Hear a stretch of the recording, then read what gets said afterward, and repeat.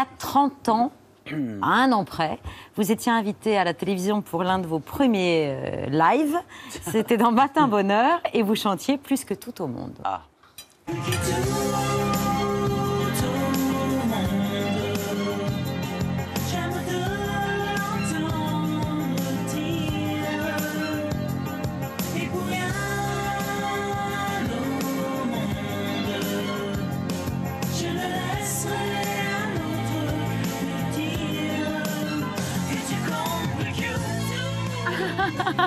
Très bien. La guitare qui continue. Je suis allé avec.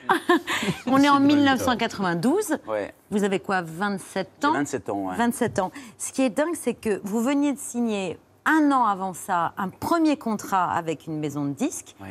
Et l'opportunité, elle est arrivée vraiment au bon moment parce que vous n'arriviez pas à ce moment à vivre de votre passion. Vous étiez, vous veniez de plaquer votre boulot à la Fnac. Et, À la Fnac Bastille, ouais. et c'était le moment où jamais où il fallait signer. un Alors, il me restait un mois de d'RMI, équivalent du RSA aujourd'hui. J'avais euh, la chance d'être euh, aidé par, par maman, qui, qui avait un peu, euh, voilà, qui, qui craignait que, que je ne sois pas élu, puisqu'on est, très, on, est- on est rare à être Oui. élu, d'avoir la chance justement d'être choisi. Et c'est vrai que il me restait un mois, oui, il me restait un mois, et, et j'ai été signé par Christophe Laménière et, et Laurence Leny, voilà, qui m'ont donné euh, ma chance. Ils ont d'ailleurs signé en même temps NTM. Voilà. La dernière fois que j'étais sur ce plateau, il y, avait Didier, donc on a, on a ce point commun. D'avoir signé au, Au- au- oui, au même moment, c'est moment, incroyable. voilà. Il y a un deuxième moment clé dans votre carrière, un deuxième tournant. C'est la, la cérémonie des victoires en 97. Ah, très bien. Vous ne connaissez pas cette histoire. Vous êtes nommé, vous apprenez par une indiscrétion euh, que vous vous Bienveillante. repartirez bienveillante, que bon, Ouais. c'était pas votre tour cette fois-là. Cette fois, cette fois-là aussi. Oui. Et vous décidez quelque chose qui était pas prévu. Vous deviez chanter Personne, extrait de votre troisième album à Oui. l'époque. Et vous dites Ah non, c'est pas ce que je vais faire. Je vais demander un piano. On vous fournit un piano. Exactement. Et voilà la chanson que vous allez interpréter. Lucie, Lucie, dépêche-toi, vie. On ne meurt qu'une fois. Et on a le temps de rien. Que c'est déjà la fin, mais c'est pas marqué dans les plus important à vivre est de vivre au jour le jour. Le temps, c'est de l'amour. J'adore, c'est le coup de fil que vous avez reçu le lendemain de votre producteur. Oui, oui, il m'a dit, euh, oui, il m'a dit, c'est une catastrophe. euh, voilà, c'est fini, on peut plus aller chanter dans les salles. Et c'est vrai que je me suis excusé. euh, Enfin, voilà, j'étais vraiment euh, dépité, mais bon, euh, et voilà. Il, m'a dit, ne t'inquiète pas, enfin, la catastrophe, c'est qu'on ne peut pas chanter dans les petites salles, mais on- maintenant on va chanter dans les zéniths. mais en fait, euh, l'idée, euh, j'aime bien cette phrase de- d'Étienne Rodagil, avec qui j'ai travaillé et qui nous manque évidemment, c'est un énorme auteur. Et même si je n'en suis que l'anagramme, il disait euh, euh, savoir dire non quand il faut, ça vaut, ça vaut le prix d'un Picasso. Et euh, j'aime beau- j'aime beaucoup cette phrase d'Étienne et je la, je la ressors souvent. Et c'est vrai que j'ai dû dire voilà, non quand il faut.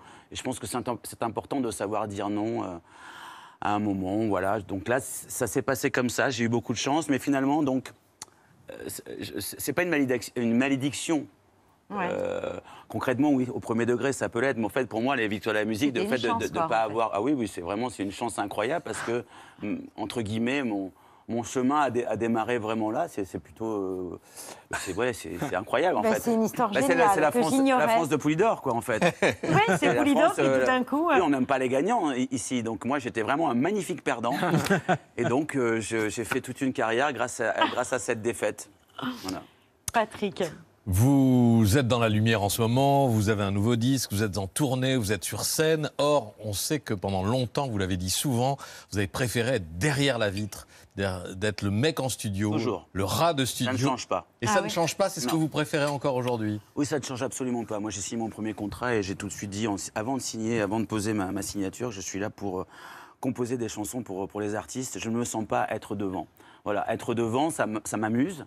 Je trouve ça rigolo, mais je n'ai pas euh, l'ego euh, suffisant pour euh, être, comment dire, pour aimer, pour aimer ça. Je, je- quand je descends de scène, la première chose, la première question que je, que je pose, c'est pas si j'ai été bien, c'est que est-ce que les gens ont aimé le concert?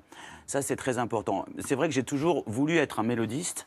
Euh, j'ai travaillé pour ça et je travaille encore. Ouais. Et c'est vrai que j'ai eu la chance de rencontrer euh, d'abord euh, un producteur qui, euh, de chez Marathon, euh, euh, Jean-Philippe Blot, euh, je crois que c'est ça, ouais, je ne veux pas écorcher Ouais, son- Jean-Philippe Blot. qui m'a proposé de faire euh, Sous le soleil, grâce à qui j'ai acheté un synthé, grâce à qui j'ai commencé à apprendre à jouer du, du- du piano réellement. et euh, et, euh, grâce à ça, j'ai pu, euh, j'ai pu avancer. Et, et, et puis après, c'est évidemment, c'est grâce à Florent, mais ça, je le, je le dis en ce moment, parce que ça me fait plaisir de parler de Florent, parce que c'est mon ami, je l'aime, et, et voilà, et on sait ce qui se passe avec lui. Le, le beau qui pleut, Mm. euh, ce titre est composé.